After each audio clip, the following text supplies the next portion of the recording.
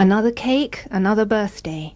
Taraloka Retreat Centre celebrated its 10th anniversary in September with the opening of new facilities.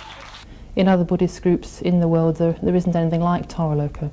It is Taraloka and Tiratanaloka are still the only two um, substantial women's retreat centres for women run by women. Uh, other Buddhist groups don't have those sorts of facilities.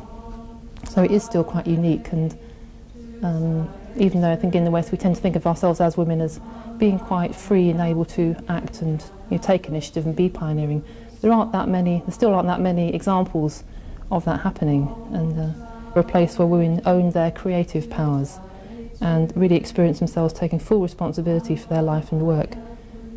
You know, doing many things traditionally left to men and just stepping into the unknown, a place where women would just have continually have that opportunity to autonomously um, create their own place and keep on just stepping into that unknown space.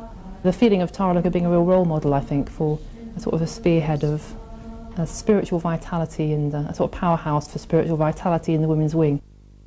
The latest expression of Taraloka's spiritual vitality was the opening of the new barn conversion.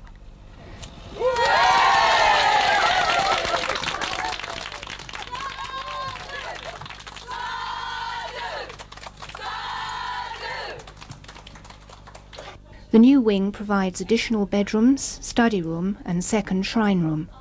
The bathroom has facilities for the disabled. Oh, isn't it wonderful? Oh, curtains. curtains. One end also provides a suite of rooms for solitary retreats with its own entrance. This new feature offers a comfortable and safe environment within the meditative atmosphere of Tara's realm.